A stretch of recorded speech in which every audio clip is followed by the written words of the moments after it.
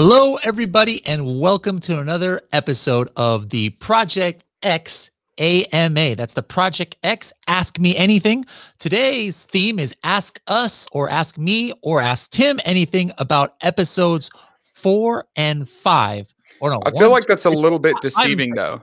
We call it a ask me anything, but we specifically but, say there's a but. There's always a but. only ask, ask us about but. things. Ask Because us about things in these episodes.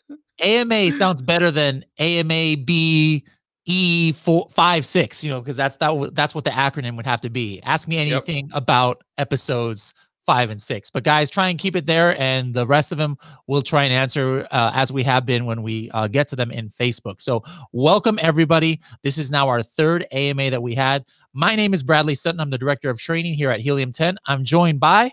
Tim Jordan from Private Label Legion. What's up? You got a nice uh a nice microphone there today. Good setup. Is that a sticker on the wall? Yes. See, everybody thinks it's like it's so weird. They think it looks like a, a digital logo hanging there, but it's not. So I'm trying to fix my white balance. See, what people don't realize is the the paint color here is like a little bit khaki colored in my office. So everybody calls me yellow. Like Anthony always calls me yellow. So I try to adjust it. Watch. Now Not helping. green.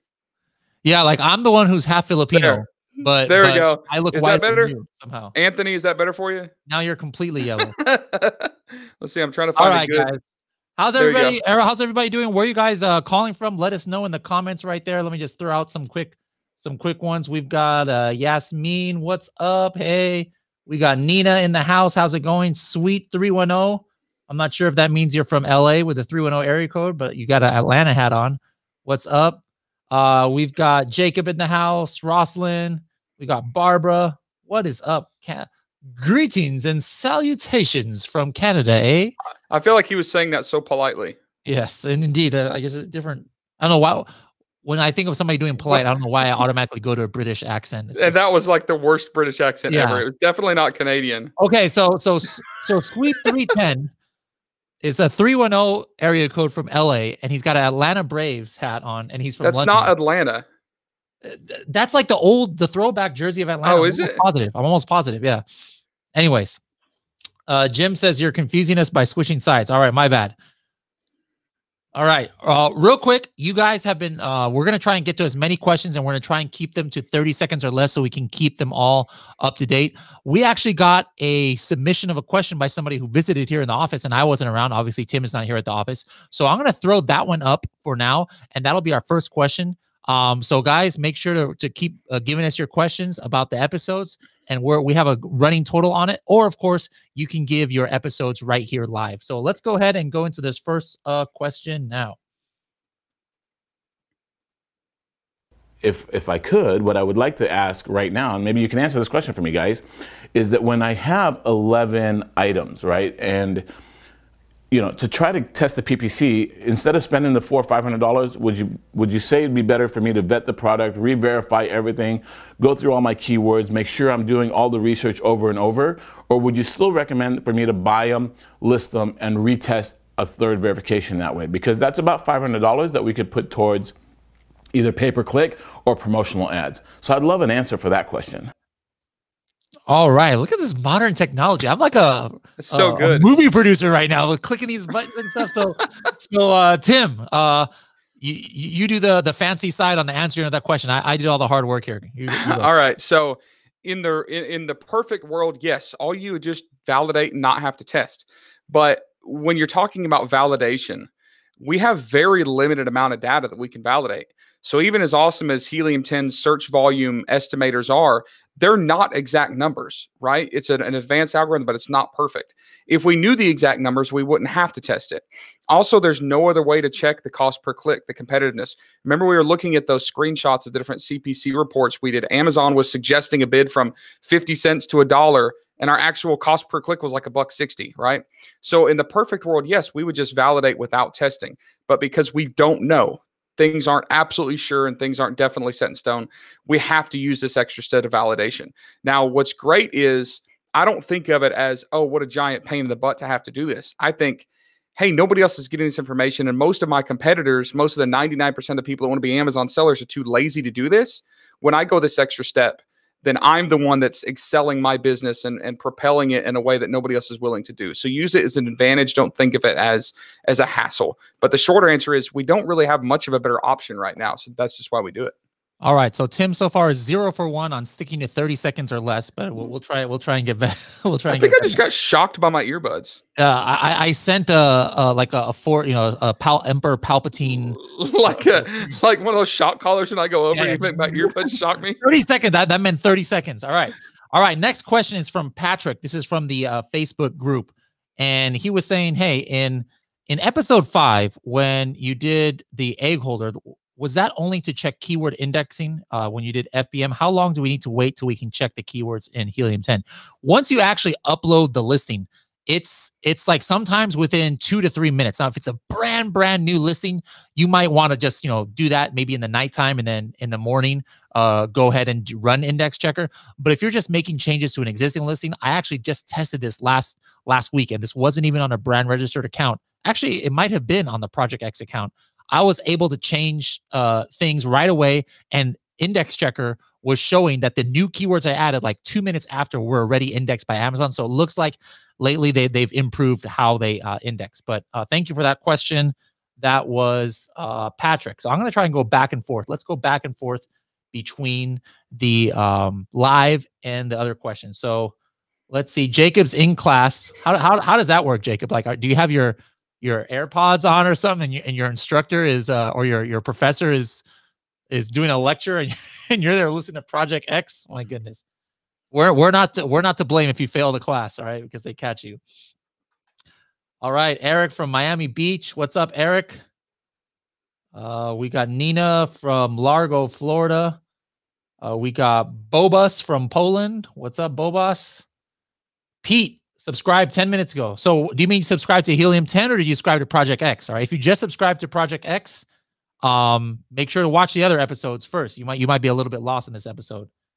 We got Rose from Brisbane. You ever been there? I know you've been to Australia a few times, uh, Tim. I have. All right, cool. Nice. Good job pronouncing it too. Everybody says Brisbane. Nope, Brisbane.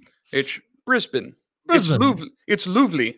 Australian for beer. That's Foster's. Yeah, and it's not even Australian. Roslyn, we're sorry. I know Roslyn's watching this, and she she we hates got when I try to Belize in the house. Hey, hey, Tim. Marco. Polo. Yeah, look Nailed it. Mic drop. Oh, wait. No, don't drop your microphone. It's a good one. It's on a. It's on it. Like I try to drop it, it just floats. It doesn't, Yeah. doesn't do anything. All right. Hello, everybody from Portugal. Kim Nguyen from Vancouver. Hey, we got Mike from Orlando. Hey, Mike, how come you never come to my meetups? I always do meetups in Orlando. You got to come by. Um, here we go. First question um, is we're gonna push to the side, just but I'm gonna use this as an example of wait for the later episodes. Scott says, How many times does a specific keyword need to appear in your listing? This is what we did in the last episodes was not like what's the recommended thing because we just put it once. We're going to get into listing optimization in a future episode. I think that's going to be like nine or 10. So stay tuned, Scott. All right. I'm trying, I'm trying to find a question here. Oh, yep. Yep. I got it right with Jacob. Jacob uh, has uh, the AirPods on right now. All right. Well, uh, I'll write you a note that says you're allowed to do that. Um, from your class. All right, let's go ahead and uh, get back to the questions here that we got in the meantime. This one is going to be from, let's see, Toby. Toby, you just did one, but it's not for episode four or five. Okay, this is from Steve. Uh, Steve says, Did you just make up a random UPC code for the test, or did you already purchase a UPC for this product? Steve from YouTube. Uh, this was from episode four. I think so. He must be talking about when we first set up the test listings. So was that one you had purchased from one of those websites, right?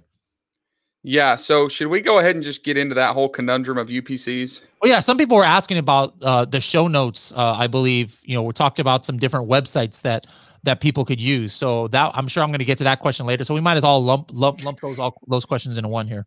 All right. So let me start off by saying, especially for tests, you don't necessarily have to use a UPC. You can also uh, apply for what's called GTIN exemption. Um, there's there's more than one way to do this. More than one way to skin a cat. Now, when it comes specifically to U, uh, UPC codes, Amazon requires you to use an actual GS1 barcode. Okay. And GS1 is like the all, and this is going to be more than 30 seconds, but there are so many questions. We're just going to do it. GS1 is like the the wizard of barcodes, right? They're like the barcode czar. And what they do is they issue these barcodes that can be extremely expensive. It used to be that, um, like I, have got a guy, he may be listening, a guy that invented one thing that he wanted to sell at Lowe's. Lowe's said, okay, you have to have a GS1 barcode. This is back in like 2005. He goes to GS1, they say, cool, you've got to buy this bundle of 10,000 barcodes. And all 10,000 of those were assigned to his company or to, you know, his ownership by like the first three digits or something like that. He only needed one. So he has 9,999 GS1 barcodes and he's not doing anything with them. So these companies like buyabarcode.com and uh, speedybarcode.com started buying up those excess barcodes and redistributing them. So what I've always done in the past is use like speedybarcodes.com or buyabarcode.com and I'll buy two or 3,000 of them and just throw them in there and use them. Now, are they GS1 barcodes? Absolutely.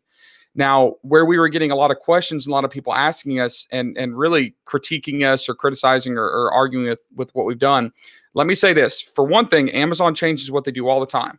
So don't take this as gospel truth because tomorrow we could wake up and Amazon's changed their term of service. Also, Amazon contradicts itself in a lot of places. The right hand never knows what the left hand is doing, right? So a customer service rep may send, I know I was trying to see right or left and mirror image. A customer service rep may tell you something. Doesn't mean that Am, that's actually Amazon's policy. So the way I've always understood it is Amazon doesn't care who that original brand was registered to because it doesn't matter. Like it's never mattered. I've always just used GS1 barcodes, has not mattered. Now, one person came back in and said, Hey, speedy barcodes, these aren't GS1 barcodes. And then we went in, and I'm talking like on the back end, the Helium 10 office, like, what is this guy talking about? Research it. They absolutely are GS1 barcodes. They were just surplus barcodes. Someone else sent a screenshot, uh, Bradley was looking at this morning that said, like, a customer rep had said, their brand name had been changed in their Amazon account because the barcode was assigned to a different brand or something. Hmm. I honestly can't answer that because I've never seen that happen before. I've never seen yeah. Amazon actually yeah. going to the GS1 database and seeing what brand is located to. GS1 allows transfers. That's what I do know.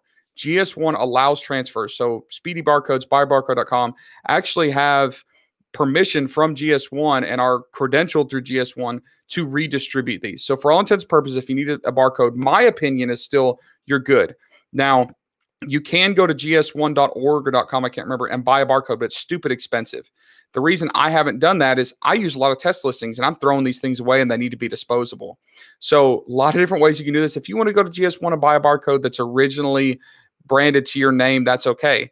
But if you buy a bundle, remember you're going to have a bunch of different brand names on Amazon, so it doesn't really matter. You know, just like Gee's Chicken Coop and Manny's Mysterious Oddities and Irvine Axes, like those are just made up names. They're not going to match even if we bought it anyways.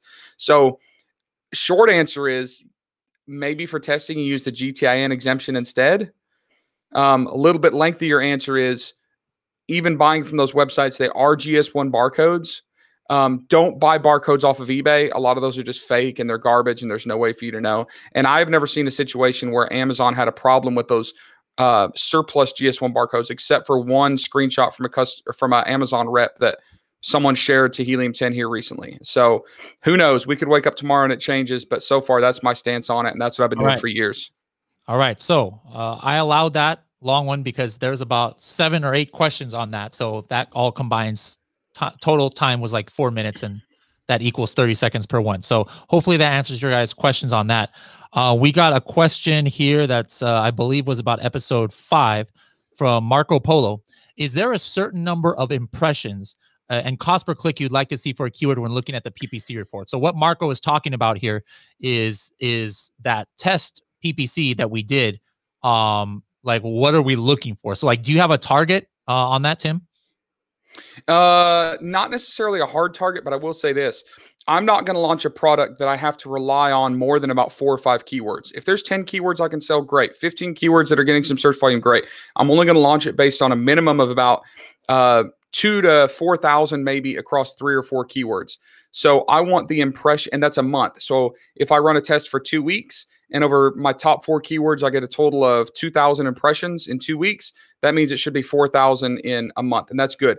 Assuming there's not a bunch of competitive products that are the same, right? This is yeah. assuming that like this is something weird and random. All right. Yes. Uh, excellent point. Um, I see a couple questions. Somebody asking about LLC. Again, that those are uh, not about this episode. Uh, we got we got Jeff Bezos on the on the line. Says, "Good good job, guys. Keep making me rich." So happy happy to help, Jeff. Uh, You're welcome, you Uncle that. Jeffy. um, all right. Keep sending pictures to your fiance or what happened there. I don't know. That was we're doing some guys. Make sure to check out our weekly news. Uh, that's not in the news, uh, the pictures, but we got some cool weekly news coming out today in uh, Helium 10. So our YouTube channel, those of you who are subscribed here, uh, we're going to start bringing you guys like little updates that have to do with with Amazon. So make sure to check that out right here in the YouTube channel. There's a couple very important things that are happening that we brought out. Now, this is a similar question to the last one, but a little bit different take on it. This is from Luis. Says, uh, what's your thought process on determining if CPC for a specific keyword is worth it or not? For example, paying a dollar for a click on a keyword with a search volume versus one with 300 searches. It's not necessarily we don't really have a target for CPC necessarily. I mean, it was great that the tests that we did came out to like 30 cents and 40 cents and 50 cents. That's pretty cool. But like, let's say you have like a $40 product and, and the, and, and you know it's a really important keyword. If your cost per click is two dollars, I mean that's not necessarily a bad thing, um, as long as you know you you have uh, you have good click through rate and and good uh, conversion rate right later on the the more important thing that I'm looking for, um, or one of the important things, not it is important to look at the the rate so you have an idea um, how much you're going to spend on PPC for these conversions, but just the fact that there's clicks at all, like what you don't want to see um, is you have like thirty thousand impressions in one click. All right, because what does that mean? That means that maybe uh, there's not that much demand for your product. Now the listing wasn't great. All right, so it's it's it's good or it's it's understandable if you get a lot of clicks and no sales. We wanted that, right? We, because once they see the listing, they see it kind of doesn't make sense and the images are not great and the price is super high. Well, we don't want it, so we just got the click. But if you can't even get a click from your thumbnail, uh, you know, like like if if we weren't getting clicks on that egg tray, that means that people really don't want wooden egg trays if they're searching for egg tray, and then that might make us think differently. So, great question, Luis. Um, Jacob is actually in his Spanish class learning about the subjunctive. All right, yeah. I think this is uh, un poquito más interesante, ¿verdad, Jacob? Jacob. All right. Um, Giovanni, uh, we actually did. We actually. We actually uh, did all of the um, setting up the ads and the test listing. We, we took it step by step. I believe that was episode five, right? You, Four?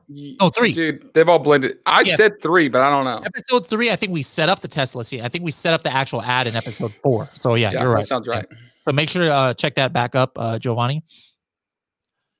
Um, here we go. Ramona says, in raising the price for your test products, if a buyer still purchases, you honor that order. Correct. Well, yeah. I mean, especially if you have FBA, the the the product is already there. Tim, we're not going to say what you did on on one of these things, right? Should no? All right, yeah. T- Tim Tim might have made a little boo boo uh, on one of these, but the rule I don't know if it was a boo boo. Why you got to bring this up? Hey, I, I totally forgot about that until she mentioned that, and then made me think one day.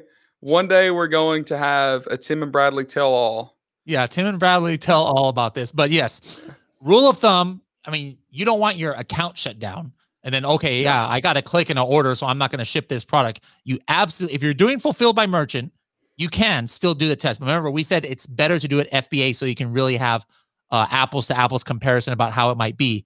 But yes absolutely you got to fulfill those orders or else your account's going to get shut down. Yeah. And no that that didn't happen to us. Our we, we tim tim's boo boo had nothing to do with our uh, at that level. Um let's see Aaron says, why was there no mention of patent checks prior to proceeding with sourcing? There's actually no mention of about 17 other, you know, things that that could be done. Now, it's very it's a lot of these things are important as we mentioned, we don't go into too much detail. Remember guys, if you want to have like nitty-gritty detail, I mean the entire series of Project X is only going to be about like 13 14 hours. We've got about 50 uh, to 60 hours of in detail training in freedom the freedom ticket program so as we said like guys for the nitty gritty stuff absolutely go to Freedom Ticket for the rest of that. We got some uh, modules, and we got people like uh, Rich Goldstein, um, who who's going to speak at the summit um, in February that Tim will talk about later. He's a good friend, and and he's a patent attorney. Helps Amazon sellers. Very important step of the process. Nikita is asking about 3D printed products. Uh, we're not going to talk. That's not about the episode, so I'm going to skip that for later. No, can I can I can I have 20 seconds to that? You can have 20 seconds. All right. If you're looking for something that's unique and you can't find it and you want to test it, there are people that are doing 3D printing and you can get on Fiverr or Upwork. Oh my gosh, Bradley, put the hat back on. Did you see your hair? It, well, that, that's why the, I wear a hat. Like Sonic the Hedgehog with a balding spot in the middle. I don't have a balding Anyways, spot. so, so I know people, in Nikita, that um, use like Fiverr or Upwork, and they got a rendering done, like a CAD rendering of a product that didn't exist. They printed five or ten of them and tested them that way, and it's genius. It is absolutely genius way to test a product that does not exist yet. Do it. Cool, cool.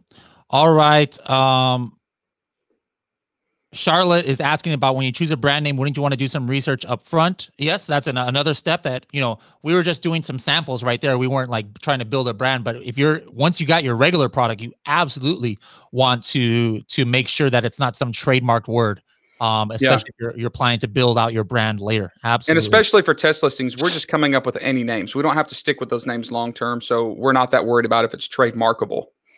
We'll just Google it to make sure it's not already trademarked. Super simple.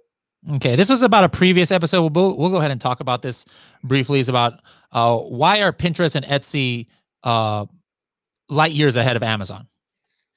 Because especially Pinterest is telling people what you want, but it takes a while for for the makers and the brands to actually show what they have. All right, Amazon is what's available places like Pinterest and Google and search engines, even Etsy, are what people want. And Etsy is a combination of a search engine and a sales platform because people are searching and they'll give results, but it's faster. Like people are quicker to market. I think it's about 18 month delay just based on my experience of doing this for five or six years. I've seen stuff pop up on Etsy 16, 18 months before it even shows up on Amazon. So, you know, it's not an exact science and some things will be faster or slower, but I definitely see it Etsy as being more proactive because it's more of like the hands-on quick like quicker to the game like faster to market type of entrepreneur than like your little bit slower reactionary amazon entrepreneurs generally okay. Excellent. Uh question from youtube from episode five. This is from dale bailey. Great video today. Each one seems better than the one before. Thank you. Question how accurate will the data be two to three months later when selling quantities of product when when you're going to sell the the product arriving at Amazon from manufacturer. So you know it's not going to be exact. Uh, I mean, what what if other competitors have jumped on? You know, in in two to three months, you know, there's things that might have changed, but it's going to give you a much better idea as uh, as if you're uh, as opposed to just going in blind. So even though your test yeah. listing might be four, six, eight, 12 weeks, you know, before the product, you're in a much much better spot than if you just went in blind and said, you know, cross your fingers as long as your product isn't seasonal or heavily dependent on Q4, you can look and see if we think it's going to be a flash in the pan. Remember the burrito blankets? We looked at Alibaba and of course we proved it right. It blew up. But then remember we were looking at the sales graphs over the past three years of the coffin box. Mm-hmm. It was consistent for three years. So what are the chances that someone else is going to pop up there in the next three months after we sell it? Right. So mm-hmm. as long as we're picking something that's not showing saturation, it shouldn't really it shouldn't really change that much unless it's seasonal or Q4. All right. This is from Katerina says, I think this is Katerina. No, e- Ekaterina with an E. Interesting. All right. Uh, great episode today. This is for episode uh, five, and this is from uh, YouTube. How long do we have to run our test campaign to get consistent data for a decision? And question two, uh, what would be the CPC value showing that we are in a highly competitive niche? So Typically, I like two weeks. I like to get through two weekends, two week cycles. It's a really good average. And also, Amazon takes a little bit of time to index your ads, right? Like they index and check relevancy for your ads before they really start running. So, two weeks is kind of the sweet spot for me. For cost per click, most general categories, I'm comfortable if it's 80 cents to a buck 20 but we're not always looking at, a, at a, an actual cost we're looking at anomalies so five of my keywords are a dollar and one of my keywords, like let's say the most competitive keyword that I'm interested in is $2, that's just good information to know because I'm going to know, hey, I can't rely on that keyword. So if I remove that keyword from my list, what's my search volume on the other keyword? So I'm looking for like differences, which one's high, which one's low. There are like supplements and health and beauty where an acceptable cost per click is $5, $6. And people that sell in that category don't mind paying that because they know that they're going to get so many organic sales if they can get on page one or two that their ACoS is going to be 15 or 20%, right? So there's not a definite number. We're just looking for things that might freak us out. And in most categories, we're just making sure we're in the 80 cents to a buck 50 range, somewhere like that. I'm going to start, uh, I'm going to find the Academy Awards music on my phone and then start playing the music when you when, either of us are talking too long so you know it's time to get off the stage you know like they do? All right because we, we got to get through. We got some great i mean I, honestly i'm looking to the live questions and the ones these week three these are the best questions that we've we've gotten so far. So you guys are are, are really crushing it. I love it that the the when i say great questions it's because it shows that you guys are actually paying attention to the episodes and i, I love that it pumps me up uh, Mahmoud says, I created a test listing. I couldn't check indexing. Should we wait till Amazon receives the item? So if if if if that's a trouble to you, that is absolutely something you could do. You could just uh, make a you know convert it to a fulfilled by merchant or add another SKU that's fulfilled by merchant. Put one in inventory, and like two minutes later, uh, just check the indexing and then and then take it out. So that's easy. Um, let's see. Hakkasan. Oh no, Hakka. I'm thinking in Vegas already. already, not Hakkasan. Dude, you're uh, already thinking about Prosper. Uh, yeah, pro, uh, Prosper white label, definitely. Uh, guys, by the way, Tim and I will be. I'll be there two days. Uh, at what? Let's let's go ahead and talk real quick about. Uh, sorry, Hakkasan, but or Harik-san, uh, your name in, reminded. Uh, what's our schedule this month for some appearances? So this month, wh- yeah, white white label expo in Vegas. Um, it's a free expo. Come out. There's going to be a bunch of vendors, a bunch of speakers. There's a bunch of people there. Las Vegas, that's like the 25th and 26th, right? Or 26th and 27th. And then also Seller Growth Summit, sellergrowthsummit.com. It's an event that's being sponsored mostly by Ping Pong and Sellers Funding. There's a couple other sponsors in there. But Bradley speaking, I'm speaking. There's a bunch of other big names. Sellergrowthsummit.com. That is February 28th. And you guys need to come check that out. If you want to hang out with me and Bradley, remember, we're doing our live AMA from that location on the 28th. So we're going to be there together. So come hang out with us, like free dinner, free networking cocktails, all sorts of cool stuff. SellerGrowthSummit.com and all White right, Label Expo. Hey, for for for for White Label Expo, you're only going to be there one day, but let's set a time. Uh, what day are you going to be there? Uh, is it Wednesday? Because it's a Wednesday yeah. Thursday show. Yeah, I'll be there all Wednesday. Okay, how about Wednesday? As long as uh, we'll announce this later, but let, let's set it now. Wednesday, twelve o'clock we'll do a Project X meetup uh, with Tim and Bradley at the Helium 10 booth at White Label Expo. So everybody, let's do a flash mob. We'll do some Zumba or something, but uh, meet at Helium 10 booth, White Label Expo. Again, it's a free expo. I, I, I totally forgot that it was free. Um, and we'll meet and we'll do a big group Project X picture for everybody who's in, in town yep. that day. So we'll be there 26th to 27th. We're flying to San Francisco and we're going to be in San Francisco on the 28th for the Seller Growth Summit. Yep. Yep. Uh, I gotta spell his. I gotta pronounce his name right since I've been butchering it. Harik Harikasin. Harikasin says testing is great, but aren't you killing the honeymoon phase? Uh, or how are you going to deal with that? Cheers from Germany and Turkey. Um, remember, for the PPC test listing, it's a test listing. That is not the listing that we're going to use uh, to launch the product. So yeah, for that test listing, now there's going to be no more honeymoon phase. Uh, we talk about that a little bit more in Freedom Ticket if you guys are not are not uh, familiar with that. But test listing, um, we don't care about because it's only used for that PPC test. And once we actually have the real product, it's going to be a separate ASIN. So thank you for that question. Dude, we got RJ Martinez in here coming in from the merch community. What's up, RJ? And I just lost everybody's questions again. That was live. All right. Uh, Aaron says GS1 UK is much cheaper than the US. Okay. We'll have to check that. I've been trying to, one of the vice presidents uh, of GS1, the whole entire company, uh, met me at like one of these booths uh, at the Prosper Show last year and gave me his card. And and I, have been wanting to bring him on the Serious Sellers podcast so I can interview him about this because I know tell me you lost guys card. questions. Do you still mm-hmm. have the card? No, I lost it. So uh, that, that's my point. So like I've been trying to, and I sent them a message. I was like, hey, one of your VPs, like, you know, gave me his card. And I want to bring him on the podcast so I can ask him questions, and they didn't reply yet. So I'm still trying to get that uh get that uh, contact for you guys. All right, and I'm still losing questions, or I'm still losing questions, guys. So again, if you got your question missed, we'll uh you know put it put it back here.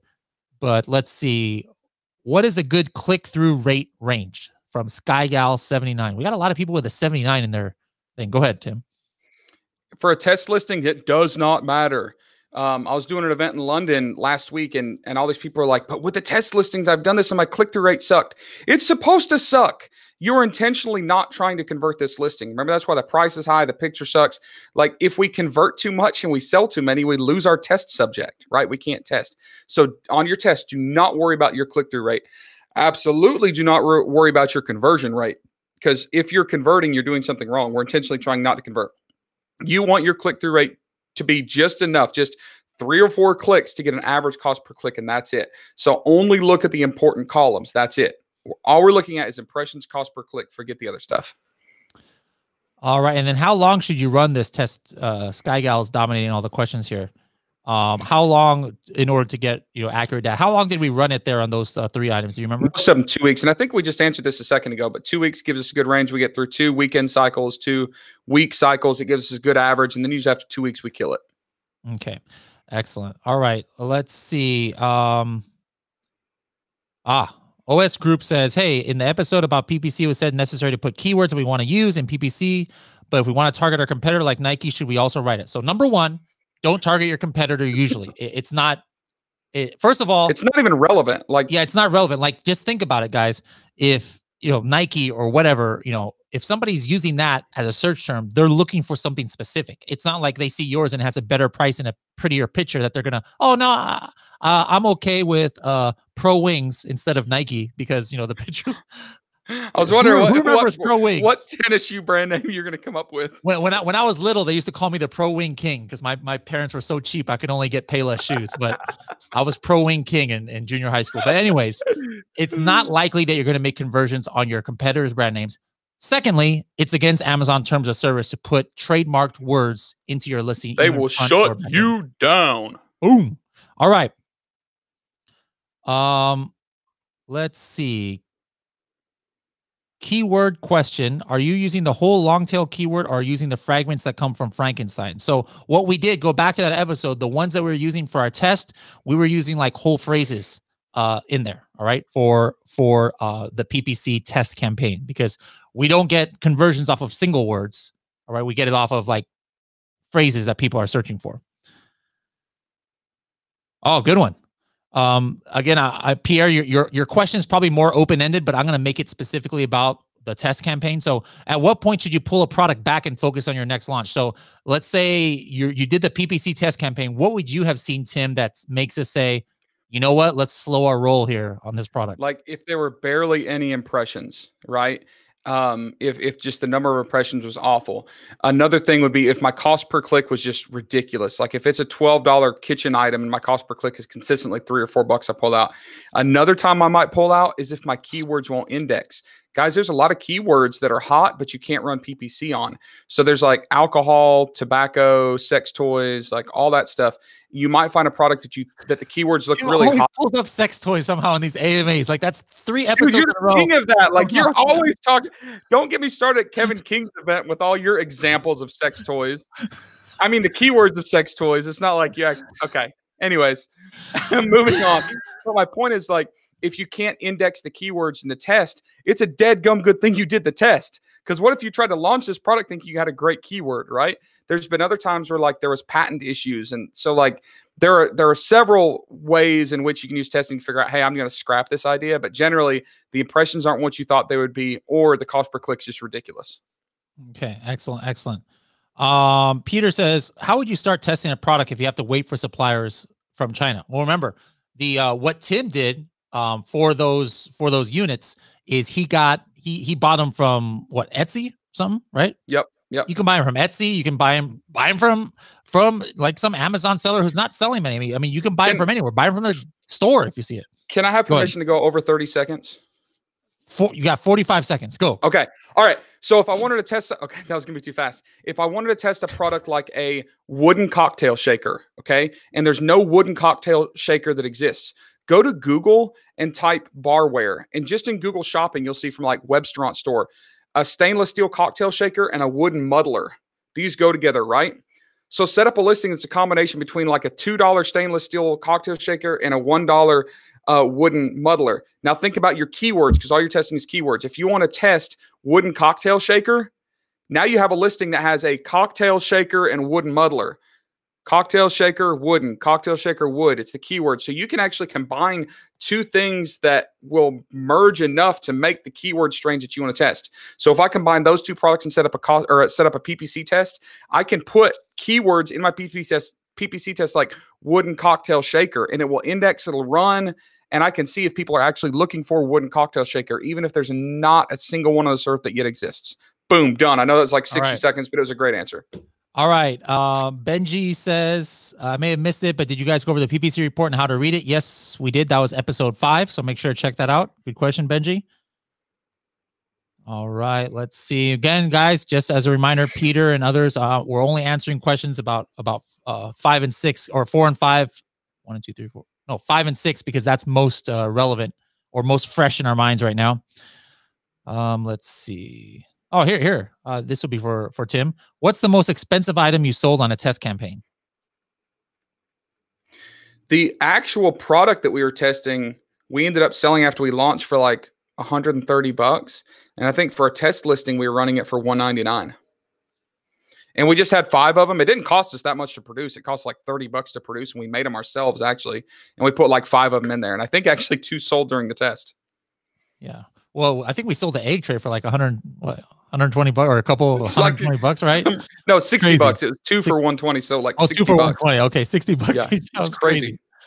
All right, let's keep going here. Uh, I'm going to go back to the uh, questions that we got during the week. Let's see. This was about episode six. Let's go to episode six. And this question is not many questions from Facebook. Looks like they're all from YouTube. Hey, Mel, if you're watching this, where's my Facebook questions? All right, here we go. Um, uh, ill. Oh man, these names. You guys are killing me with these names. Bill Garks, no Noxy Millen. All right, Bill Garks, Noxie Millen says, "Great episode. My question is, how much did the test campaigns co- cost? We actually showed some of those in the screenshots. You could see what we paid. And I remember there was one. I was like, oh man, we we paid a little bit more. But people are asking me like, hey, do we have to?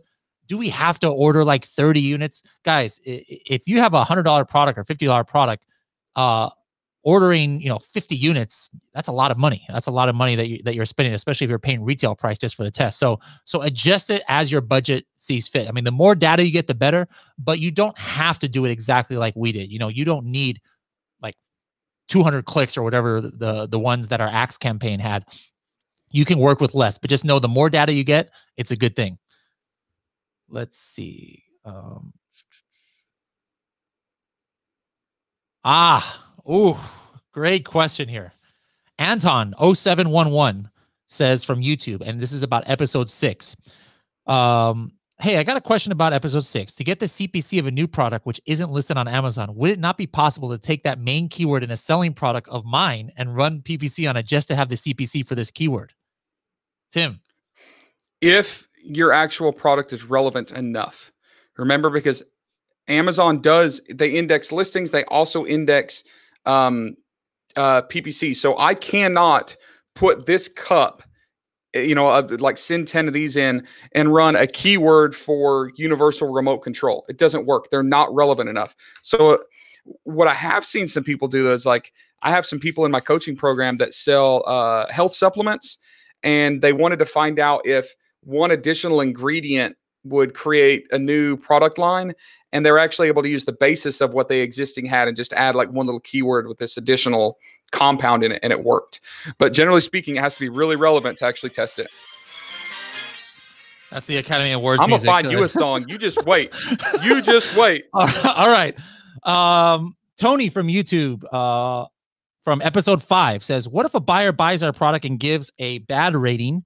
Uh, it could affect a lot when launching. So remember, just like we had said before, these, uh, yeah, if you get bad ratings, that's not great. But this is the only time you're ever going to use those ASINs. Only for the test listing. You're gonna you're gonna actually launch the product on a separate ASIN. Um, Oh, here goes another name. Oh no, Irina Blush Brushneshvia. Uh, I don't have a good Russian pronunciation. Sorry. Thank you so much for great content. What is the minimum that I can send to Amazon to test? So, kind of along the lines of the previous question, um, I actually did a test just recently uh, for uh, another project I'm working on, just trying to do some investigation, and I just tried it with uh, with actually fulfilled by merchant only, and like only three products available because that was all I had just to see. like, is it even possible? So again, what we recommend is doing FBA and probably, I mean, Tim can correct me, about at least 10. But I did one with just three and I got tons and tons of information. And I actually sold the three, the three units already had like a week's worth of information. But what about you, Tim? Do you have a a minimum that you well, kind of set for yourself? Yeah, and you just said one of the problems. If you don't have enough in there, you run out. So you got a week's worth of information. I would have liked to have two weeks. Mm-hmm. But also remember, Amazon is indexing based on inventory performance index right now. We're about to get really deep. So Amazon is actually not showing some listing in certain part of the countries if inventory isn't there. So if I only send three units and Amazon parks all them on the East Coast, they might not even run the ads on the West Coast because they don't want to airship those bad boys all the way across the country for a $15 product. So you're only going to get half the impressions. So I like to do 10 or 12. Remember, we suppress the listings intentionally, get them all the way distributed. Then we click it on so that the IP, the inventory performance index isn't going to not show our ads. Yep. Thank you very much for that question.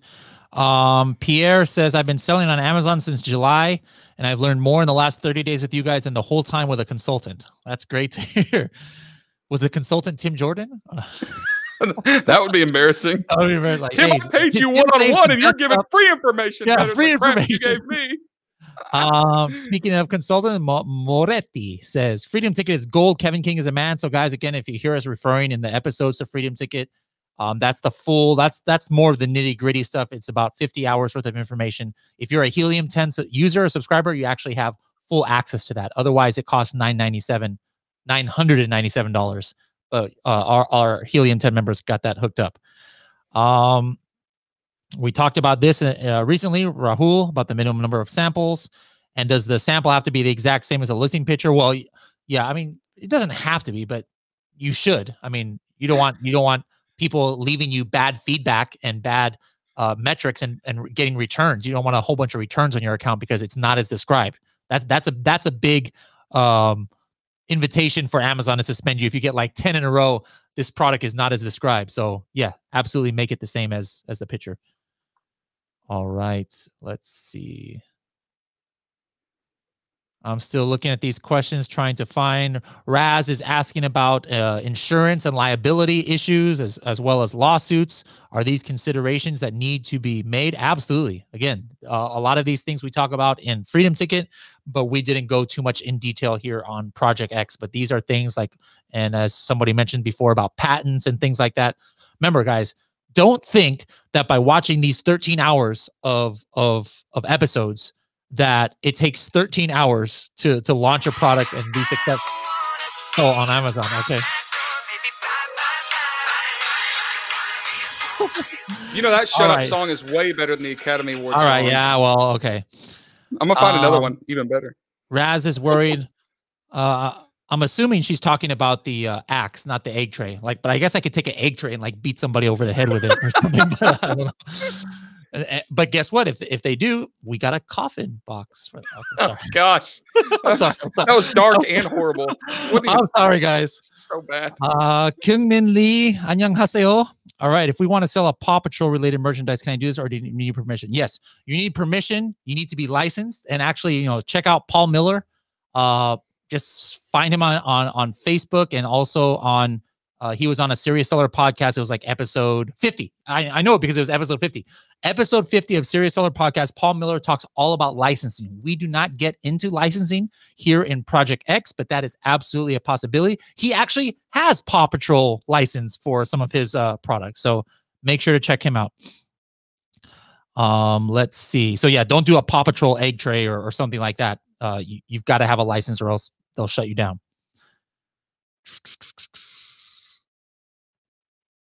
Tom says if I use product search the black box, I have different scores. There's there's no scores in black box. So let me know what you're talking about there. Um, or or open up something with customer support. You might be thinking about a different tool. All right. Another person talking about the price per click on the PPC test. We've kind of answered this already, I believe. Uh, Caleb, right, Tim? Yep. You, yeah, we already covered that. How you know what song? Go ahead. You know what song, what song, comes to mind when I think about PPC tests? What? You down with PPC?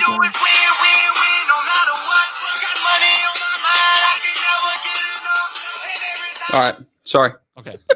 I'm thinking of we got to make a song like the remember the Naughty by Nature. You down with OPP? Yeah, you'd like we you, you down with PPC? Yeah, you know. And then we, we don't even know the next like what would the next part be? Oh, uh, you down with PPC? Uh, my competitors got no hold on me. I don't know. All right, guys, back to the questions. Chris Chenault. Uh, oh, so gosh. your volume requirement for impressions is four to six thousand. Your click through one to two. How does the unoptimized CTR compare to optimized? I'm assuming he's talking about listings, not pictures. Later. It so, doesn't yeah. matter. Click through rate on a test does not matter. Don't worry Remember, about it. Don't title. stress about it. Bump it. Yep. So don't don't have such a terrible image. You know, it's I mean, Tim took it with a cell phone, but it still was a pretty decent image. But you don't want to have a picture of something completely different because then you're not having an apples to apples test. Um, is this is about more like episodes one and two, but I'll allow it. Uh, Jan says, is there a way to search for trending products on Etsy and Pinterest if you don't know exactly what you're looking for? Well, what's your methodology there? Uh, um, unfortunately, there's not like a magic box or black box for Pinterest or Etsy. We're just scrolling through and just manually checking. So we we look at anything that looks unique that we've never seen before. We're literally just scanning as many product types as we can, and then we're jumping over there to Magnet uh, or Cerebro and seeing if there's kind of an anomaly, a keyword that's popping off with some search volume there. So no, there's nothing automatic. And again, don't take that as discouragement. It just means that all these other Tom, Dick, and Harrys out there are not going to do the work that you are. This gives you an advantage because since you have to manually look and it can't be automated, you can find those products without everybody else finding it. Oh, good job. Were you trying to play music? Ooh, that's a good one. good job. All right. Now I feel All challenged. All right, I'll raise you one right there. All right, let's keep going. Right. um, Raul, yeah, this this was in a, in a, in a previous episode. Actually, last week's AMA, we talked a little bit about that. How you just got to sometimes just see what's trending around you, and then you just start down these rabbit uh, rabbit trails, and you'll you'll figure you'll you'll get to like something that you never started with, but is is going to be interesting, just like we did with the sugar skulls. Let's see. The handyman says the coffins were FBM, and you pointed out that when you list, you would more than likely list at the top being FBA, perhaps our FBM because storage fees through Amazon are probably crazy expensive. Um, the size of this isn't isn't isn't that big uh, as what you think. I mean, I think we um uh we're we're gonna show it in a future episode, like a sample uh, of it. So like you can just see the size, and then we talked about the sample in the last episode of the existing of the existing seller. It's only like 14 inches tall, so we're we're talking like like about this tall. So the storage fees aren't that much. Uh, when you look at the listing quality, the image quality, it's just basically a non-experienced Amazon seller. You can kind of know. Uh, I, I really highly doubt it's about storage fees.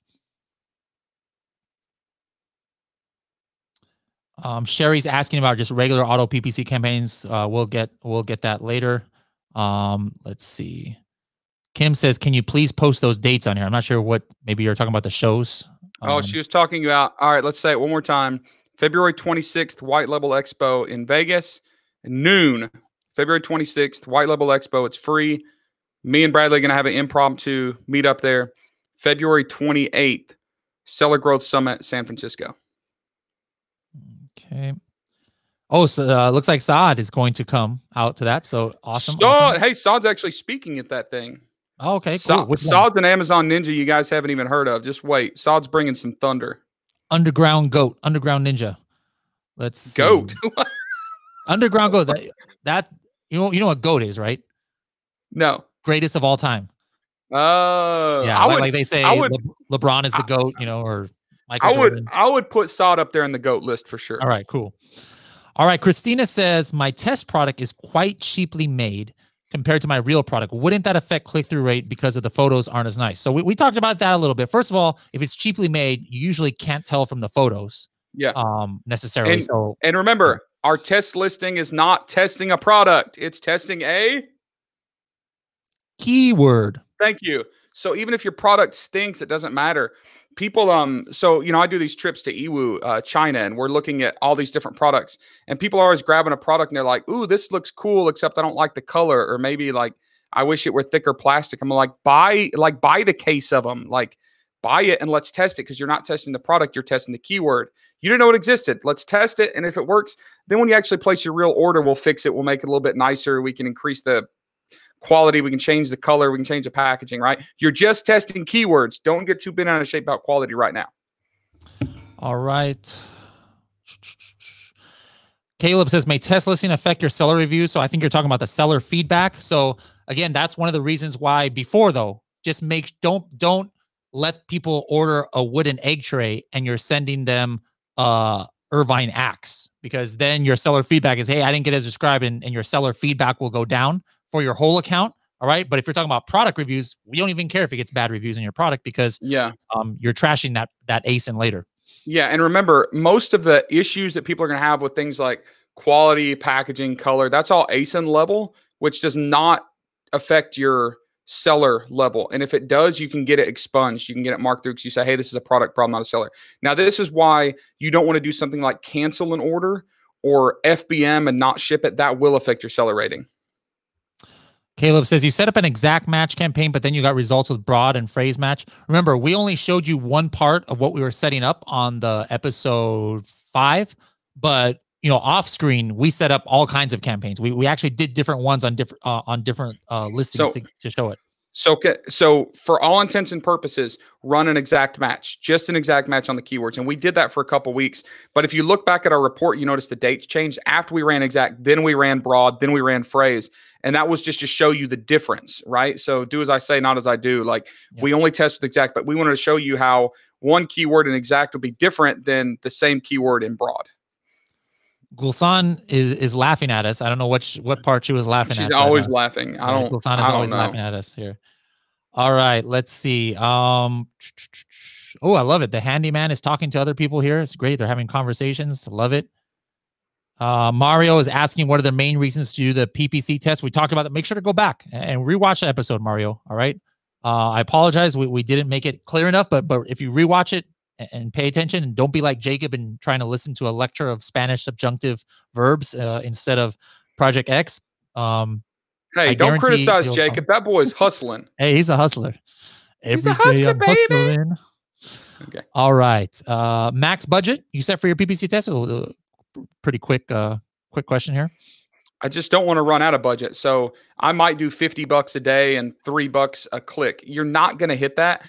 But remember, if your competitor is spending 250 a click and you're only bidding two, you're not going to get the same number of impressions. Your data is going to be jacked. And if you run out of budget, you're not going to get true data anyways. So generally speaking, you can set a $500 a day budget and $200 a click, and it's not going to matter because it's not going to go up that high. You just want to make sure you're bidding higher than it actually will top out. Otherwise, you quit buying that data. M, my favorite digital nomad from Morocco, who I was supposed to meet up with, but I didn't get to Morocco my last trip. How's it going? She asked, would you do the same test uh strategy in EU? Or actually that's not that's not uh oh yeah. Would you do the same test strategy in EU? Um so you yeah. can, but it's going to be harder because there's not as much of a test subject. Remember, you're going to have, depending on which marketplace in EU, you're going to have a lot less um, impressions, right? And if I've got my product parked in Germany, it's not going to index and the ads aren't going to be the same in Spain, right? So you can't really do this test across multiple, you know, like the pan EU platform. You can do the test within individual markets in the EU, or now it's separate Brexit, UK. Um, but I don't know why I said it like that. Uh, Brexit. Anyways, uh, you can do it to individual platforms. Just understand that your impressions are going to be a lot less because there's just a lot less people on that marketplace. All right. Peter says if you have to choose one event, the white label or seller growth event, which would you recommend to go? Well, if you live in Vegas, it's a no-brainer. Go go to the white label, but it's different things. I mean, white label does have some Amazon speakers like myself and Anthony Lee from here this company, but it's not all about Amazon. It's about other things, but it's free. Um, if you live in San Francisco, no brainer, go to the San Francisco one. Um, yeah, I would that say that like hyper focused on. Yeah, the the Seller Growth Summit is like crazy focused. Like I think there's eight of us speaking, and it's all like hardcore, amazing Amazon stuff. Or white labels spread out, like they're doing a bunch of CBD stuff, and like it's it's kind of more broad. Aaron's asking if you set your release date to a later date, would that do the same thing? Um, so the reason what we were talking about in episodes four and five about uh, suppressing the listing is so that we can wait until our FBA inventory was distributed uh, across all warehouses. Um, does I, I haven't tested that because just suppressing is so easy. That's all I do. But do you have you ever set the date and does the same thing, uh, Tim? So I've actually played with that, and if you set the date, it seems like sometimes the distribution slows down too, because they're like they can wait. You know, it, it takes some of the uh, urgency off of them distributing those products. All right, let's keep going here. Um, Ramona says, I currently have my own invention. Oh, you fancy, huh? That is ready for manufacturing. Fancy, huh? Is it wise to consider my product as a test item on Amazon the same as an already known product? Well, here's the thing. Remember, we're not testing the products, we're testing the keywords. And. Ramona, you may be too deep. Like this yeah. is a little different. Using your own invention is different than the method that we're finding here, which is like finding that Yeti, right? So it's like you're almost committed. Now, in your scenario, this is a place like we talked about 3D printing earlier. We, if you were just going to use Amazon as your platform or your main platform, we might have tested it before we actually invented it and took it to manufacturing. Now that you've got a manufacturing, you're kind of all in. But you could still take some prototypes now while your full runs are being produced and run the test listing or the test PPC to go ahead and get information that you can use to optimize those listings, which will make a lot more sense in further episodes because we're going to take that that uh, PPC test data and move it directly into our optimized listing. So there's still ways you can use the same information, but you're a little bit too deep now than to just go ahead and test to determine if you're going to do it or not. All right. Did you change the uh, barcodes when you change your list from test to real one? Yes, because remember it's different ASINs. You cannot use the yeah. same barcode for two different ASINs. That's very important. Good question. Um, is the AMA always at 4 p.m.? If you're in Eastern Standard Time, yes, they are 1 p.m. every Friday. Uh, Pacific time, 4 p.m. Eastern time, and whatever the heck Morocco time and and Japan time, and everybody else is there. Bua, can I ask about keyword tracker yet? No. if, if it up, has to Bua. do with episodes five and six, yes, but uh, but um, we go a little bit deeper into keyword tracker in later episodes. But if, if it's relevant, you know, ask away. I just won't answer it if it's not relevant. Uh, we made Kim laugh too. All right. Uh, Dana says, "Don't give up your day job." So I'm sorry. You know, we we try we we tried the stand up comedian, but but I this guess. is our day jobs. like we're doing our day job. Wait, that's really I, I think sad. he's talking about the the the the sophomoric humor uh, attempts at humors. Don't. I thought he was talking about our singing. Uh, I thought our oh, singing yeah, was on too. point. That, that probably. I don't too. know. I mean, I'm biased, but all right. Uh, I joined a little bit late. Let's see. We got a lot of the same questions. So yeah, Adrian, make sure to check this on the replay where you answered that a little bit earlier. Um, Aaron knows a, a road manager for Naughty by Nature. All right, excellent. We're going to make that happen. Oh parody, man. Parody version. Let's see. Batteries in a flash. Signed up and we'll be there. I'm not sure which one you're talking about, but I'll see you. I'll see you in one Somewhere. of those events. Awesome. All right. Now, now we, now we from Vancouver. How's it going? Um, yes, I would use similar strategy on EU. We talked about that already. Um, Katie, this is going to be a question for on week. I'm actually editing those episodes now. It's gonna be like eight, uh, episode eight and nine. We're gonna talk about shipping and logistics. So we'll get into that in a couple weeks. Um, Vlad says, how does index checker work? It's just checking three different ways if you are indexed. All right. Uh, traditional index, there's a field ASIN test that we do, and then another uh, check that we are doing for the index, a storefront index. Can a brand name be changed after creating the listing, not the test listing? Um, not automatically, you but you have to open up a case, and it's possible. Uh, it's possible to do that, but sometimes they deny it. But if you have a good case uh, to do it, they'll they'll let you. But you just yeah. can't do it from your edit Seller Central.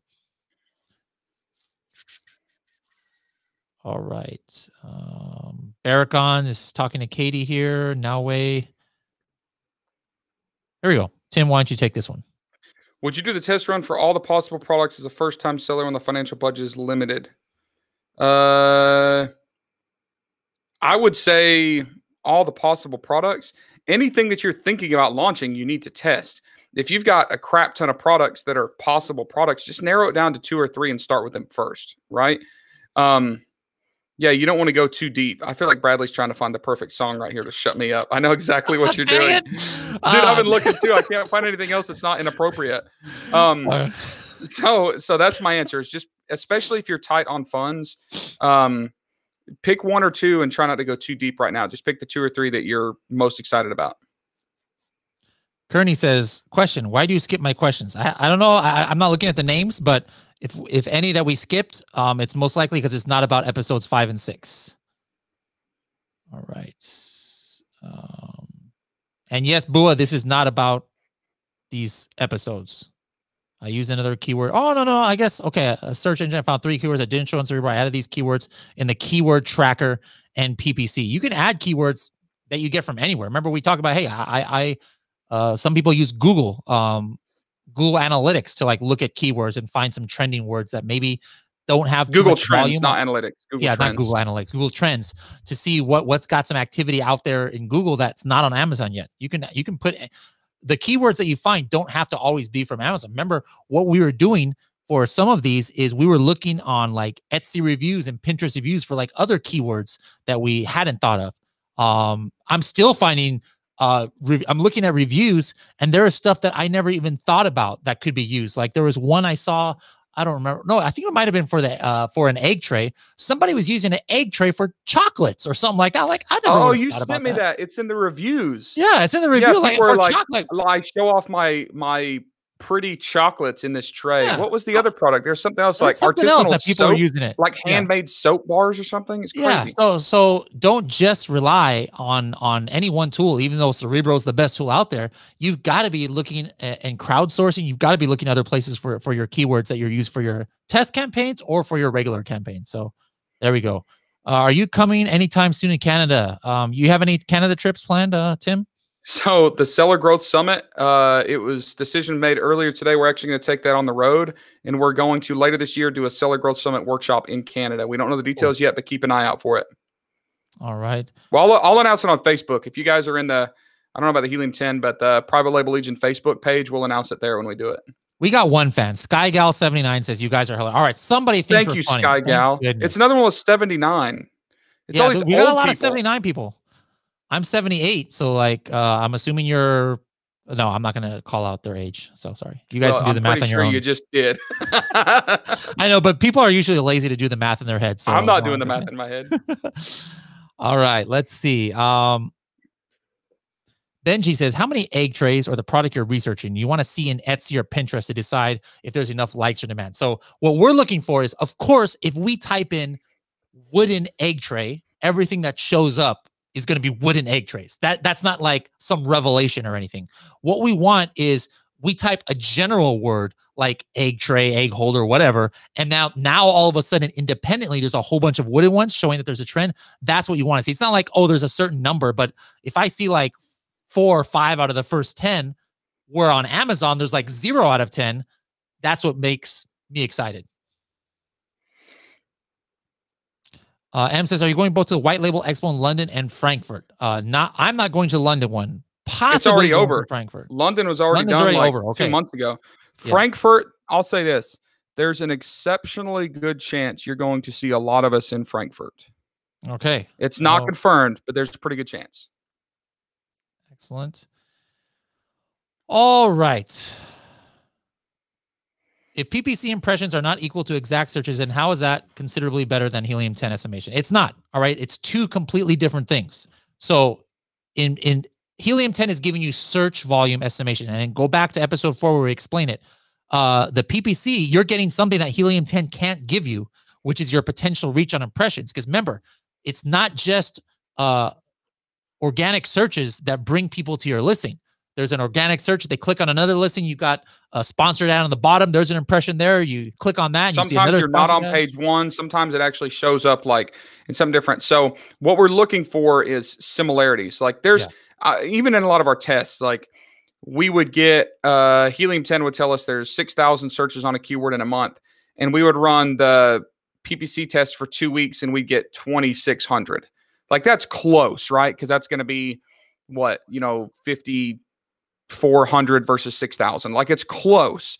Now, what we don't want to see is where Helium 10 is telling us there's 10,000 searches a month for this keyword, and on impressions, we only get 800 a month. Like that's where we go, oh, we're glad we did this test and didn't just run this. Because remember, helium 10 is only good as the data that it can get, which isn't always perfect. And sometimes, especially when there's like an algorithm flux or something crazy that happens, an algorithm shift, it'll it'll change some of that up. So we're just it's a little bit of reassurance that we're really close to the same numbers as we expected.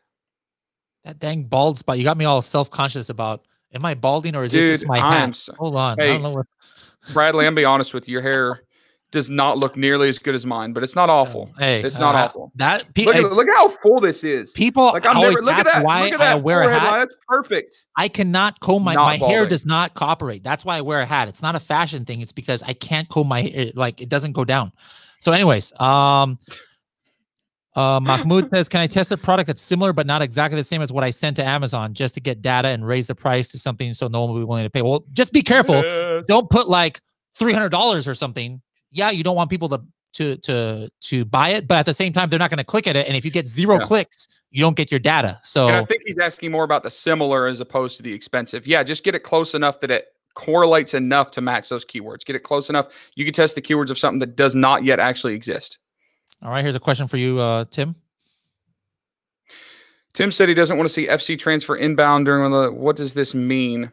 All right. So, what we're talking about is we want the products to actually be available before we start running our test listings because a lot of times you won't get those impressions and you won't get that ad running if you're an FC or inbound. Inbound means the product is left your location, your warehouse, wherever, and it's inbound to Amazon. All right, to the first place. So if I send in a box of 10 egg trays from my shipping location to the first Amazon fulfillment center, Dallas or wherever it is, that's inbound.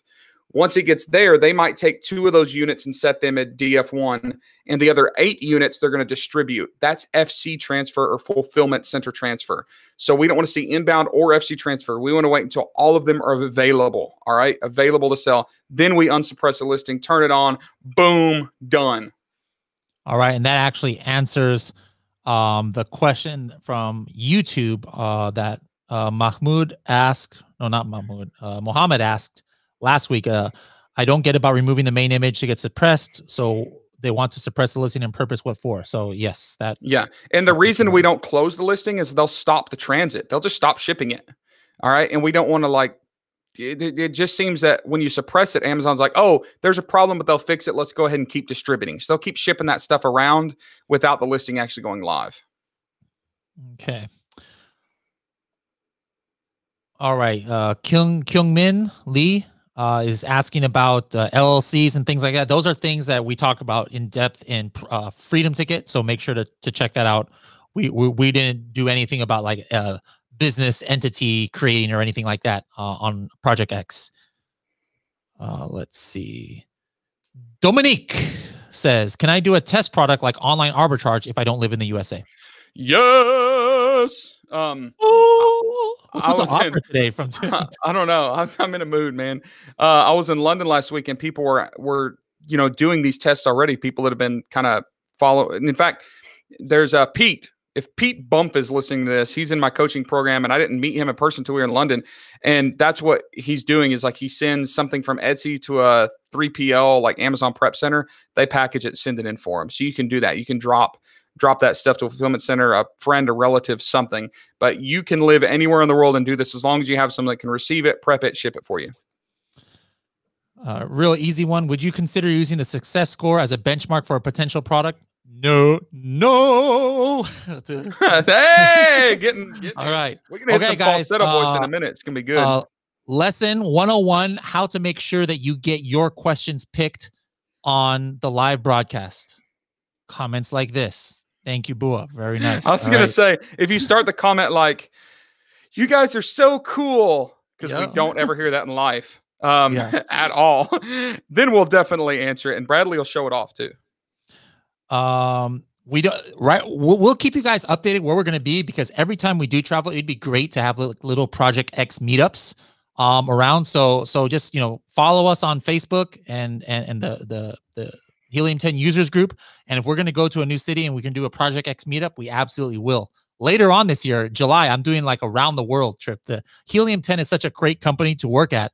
When you hit two years, they give you a four week paid sabbatical. So like I, am being paid and I can go anywhere I want in the world for four weeks and still get paid. And and so I'm I'm doing a round the world trip. So I'll definitely be meeting up with uh, a lot of you. And yes, M, I am finally going to Morocco uh, at that time.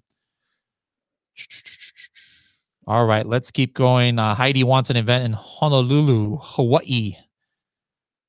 Okay, Katie says, does Amazon tell you which location to send your product to and how do you find that out? So here's there's two stages of this when you set up your shipment to um, Amazon, yes, they tell you the the the uh, warehouse, the main warehouse where your product or warehouse is that it's going to go to. It could be one or it could be up to three. Um, I've seen one go to. You'll say, "Hey, send three here, send two here," unless you do a case pack. If you do a case pack, that means you're going to send it all to one.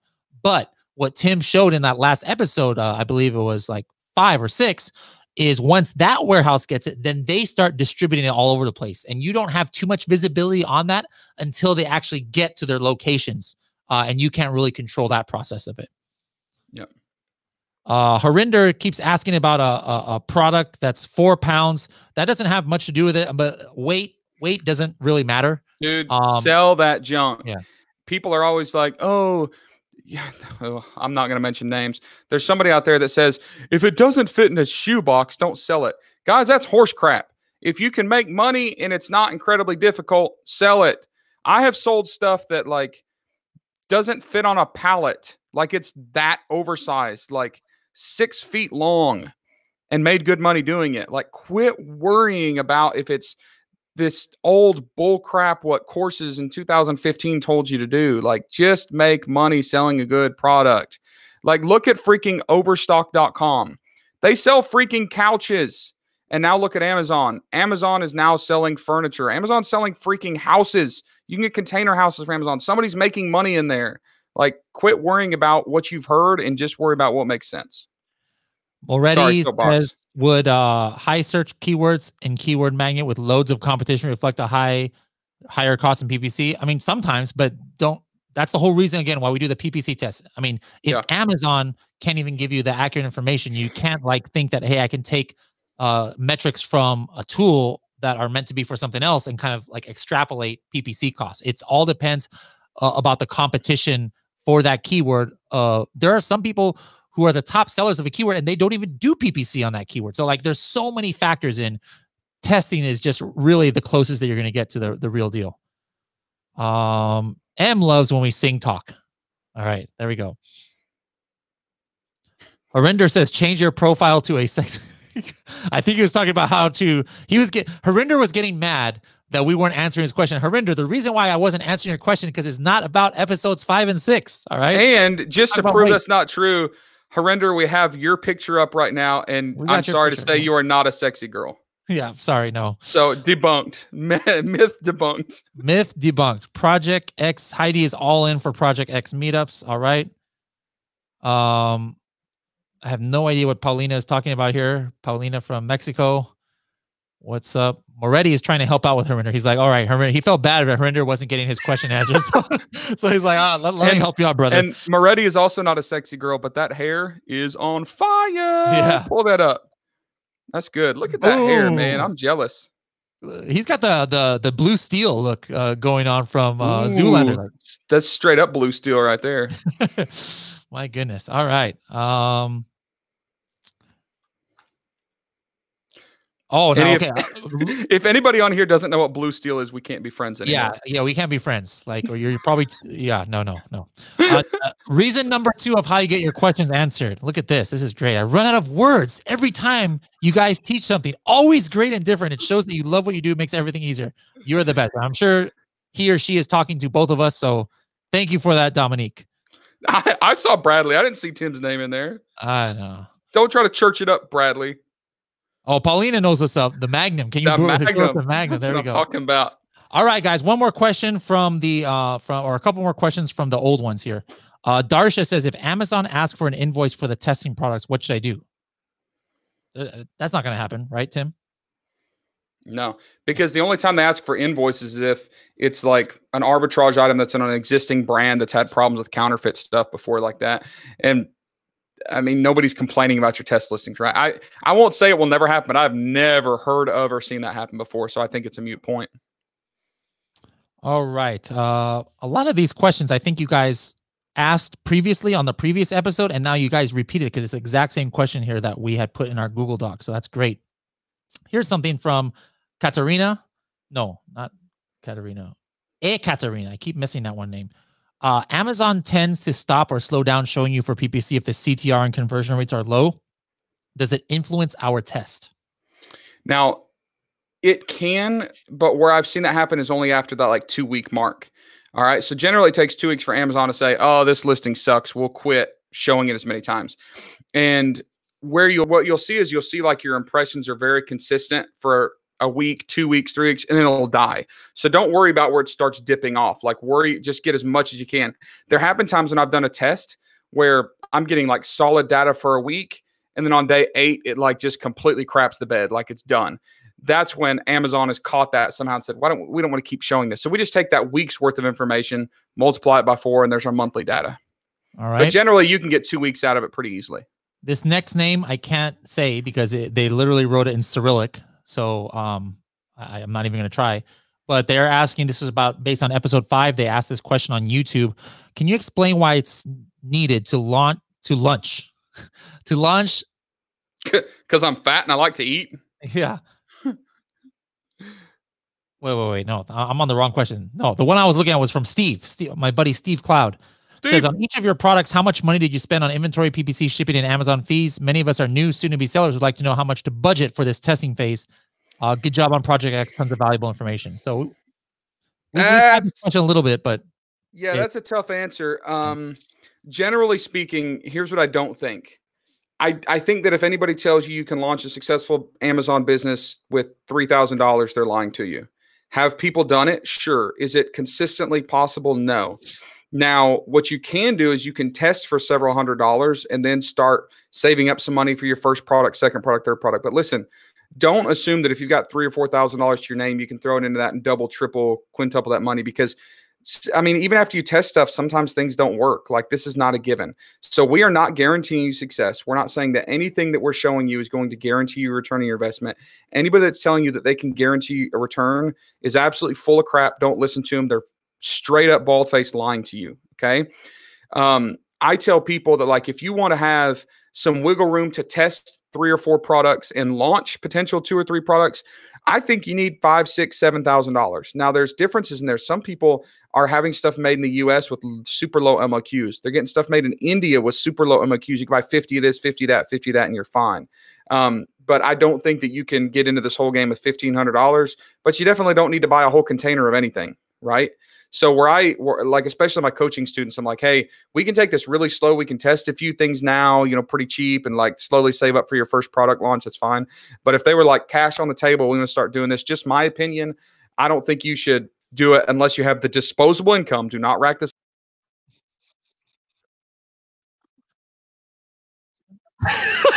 yeah. oh man, he took me off. keep keep keep uh yeah, just keep in mind nothing's guaranteed. So I'm gonna say like five or six thousand before I would even try to launch one.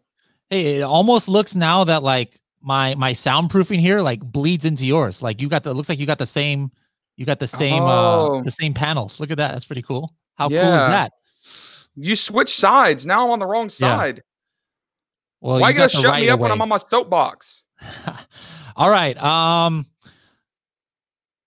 uh, should we do FBM or also FBA to have more accurate data? Absolutely, FBA, FBA. Mario. FBA. FBA. Uh, Mahmoud says, "I just listened to your latest podcast. It was great. Oh, that was the uh, the brick and mortar one. Yeah. Again, we don't talk about that in Project X. Um, but yeah, that was on the latest Serious Sellers podcast. Let's see. As a newbie seller, again, I think Luis might have got your answer, your question answered because that was that was Steve's question as well. Um, so yeah, do do do what works for you you don't have to spend five hundred dollars or a thousand dollars on a test if you if you don't want to. Yeah. Right? I've done tests for as low as like two hundred dollars. That's product and PPC and shipping and everything. Yeah. Handyman says, I think you should broadcast 24 7 for us junkies. Neither of you needs to sleep day. Nah, sleep's overrated. Dude, you know how stupid we would get after about 14 hours on here? It oh. would be it would be like downright kick us off YouTube because it would just get ridiculous. All right. All right, guys. Thank you so much for joining us on this episode. Uh, we've gone through six episodes, so we're almost halfway through Project X. Not quite. Are we not going to have like a giveaway or anything? No giveaways today because uh, Cassandra didn't even come on. So like, I don't even know if Cassandra's here. But. Cassandra, what are you Hmm. doing? where's Cassandra at? Um, let me. Oh let- you know what? Let, let- let me try and brainstorm an idea while you answer a question here. Hold on. I- Oh, I'm gonna try and brainstorm a You question. ain't here. question. I'll brainstorm the idea. I don't, I don't trust your creativity for. Hey, but how are you gonna give you- away helium ten stuff? You, don't- yeah, right, you, you guys can have a year for helium ten or like some Let's, crazy let's thing. give, You're it- gonna let's give away a ticket to the Seller Growth Summit. I can do Oh, that. Oh, you're okay. Oh San shoot! Francisco, Feb 28th. I'll give away a ticket to that. My goodness. All right. Actually, so, I'll give away two tickets. The winner gets him and a plus one. dang, how much is that worth? Uh, like a thousand dollars. What? What? Good lord, man! Tim is feeling generous today. Tim is feeling generous. All right. So, um, yeah. Let, let me let me give you a question while I think of the contest here. Um, I think we should do it in the live chat, and I think that the fifth person to answer correctly is the winner. I can't view live chat fast. It, it, will crash like for the live chat uh, on here because it'll it'll just like, oh look at everybody saying pick me, pick me. Look, My we can do it this fast. Let's a- ask a There's no question. way. And the fifth correct answer, because the first one's just too fast of a typer. The fifth one gets two free tickets. Two free tickets. So All right. you have to ask a question that's very, very specific. about one of the episodes. Okay. Um while while I'm thinking about that, here is a question for you to answer from a user. Okay. Um let's see. Look, we got everybody on the hook. You Here better think of a good, a good For for test purposes, what are the use this is from Krish, Krish from YouTube. For test purposes, what are the use cases of when you would want to use broad or exact or phrase? Uh I'm really confused now, she says. All right. So when we're running our test, we're just looking at PPC, we're just looking at impressions and cost per click. But remember, if we actually want to sell this product, we're going to launch it. We want more data. So a lot of times I'll run a test campaign for like a week or two and determine, all right, things look good. I'm going to go ahead and launch this. Then I'll take those same keywords and open them up to broad or phrase. Keep running the test, which will tell Amazon, hey, go out there and hunt for more keywords. Like, give me some more love, give me some answers.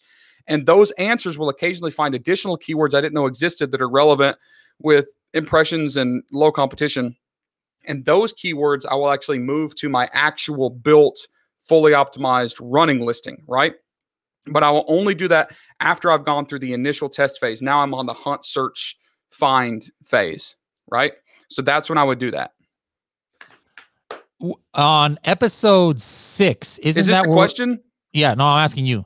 On Oh. episode six, isn't that where we went into like the differentiation and things like that? Yeah, yeah. We we showed Okay. the difference, and we even showed the report where the results were different, whether it's exact, broad, or phrase. Yeah. Wait, the results were on episode five for the PPC test, wasn't it? And Yeah, six, yeah, where we yeah, yeah, about how yeah, yeah, differentiate yeah, yeah, product. yeah, yeah. All right, Sorry, so sorry, sorry. let's do the because we we barely got. I didn't know because we barely got any questions on episode. Are we doing the contest yet? six. Yeah, I'm trying. I'm trying to do the contest. All right.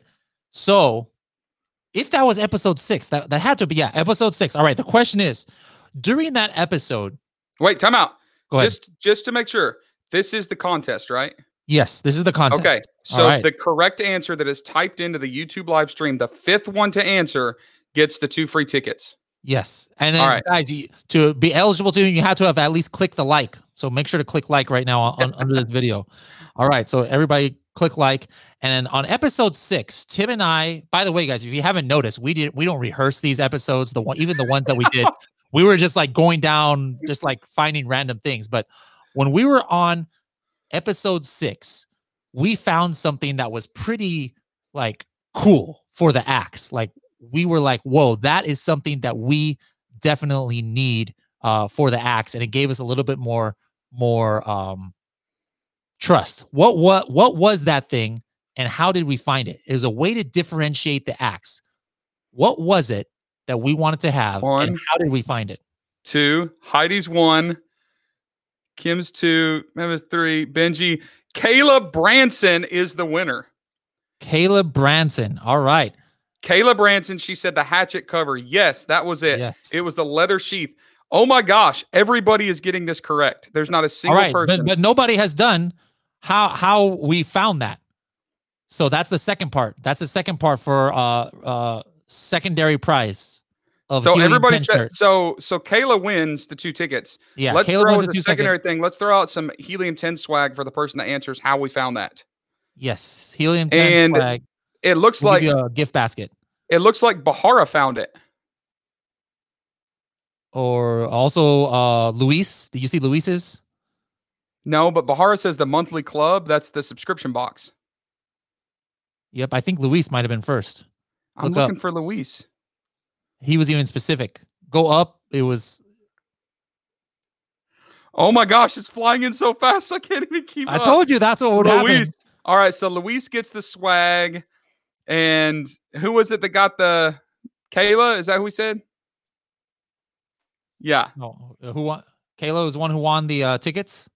I think that's who we said. Right? It's already disappeared. I'll have to go back and check it because I already forgot the winner's name. It's All a woman. I'll remember when I see it. So, So, uh, yeah, so we, we will um we will contact you or just email. Uh, I think it's social at helium10.com. I think that's Hey, Cassandra's. oh, it's Kayla. Kayla. Hey, Kayla. Kearney. So Kearney said, "Can I wear the private label Legion mohawk on the next episode?" Hold on, I got you. Where did Tim go? I don't know what's going on. Oh, look at that. There we go. Yeah, asking you It looks like receive. exactly like your logo. I mean, like identical. dude. It's almost like we planned this or something. Almost like you planned it. What's going on? I don't have anything cool here at my office I can put on my head. So I ha- I have I have like a a, a, a, a, cover a cover for my or a, a cleaner for my for my window. All right, Kayla. Anyways, Kayla, send me a message on Facebook. You can find me, and I'll hook you up with those tickets. And Luis, then track down Bradley for the yeah, Helium 10 uh, flag. uh, slide into our DMs on Facebook Messenger and ask for Cassandra and say that you won the the gift basket of Helium 10 shirt and some other Helium 10 swag. It's not just going to be a shirt. Don't worry. We'll give you some like pens and a whole bunch of cool stuff. All right, guys. Thank you so much uh, for joining us today. Make sure to tune in, turn, uh, hit like, hit subscribe, hit the notification so you know when the live premiere is going to be of episode seven uh, which will be Monday at 11 a.m. Pacific Standard Time. That is what? That's 12, 1, 2 o'clock Eastern Time. Make sure to tune in uh, so you can watch that. We'll be, or at least I will be live, uh, live uh, chatting with you guys as we watch the episode. Until then, this is Bradley Sutton and Timo Jordan. or Project X.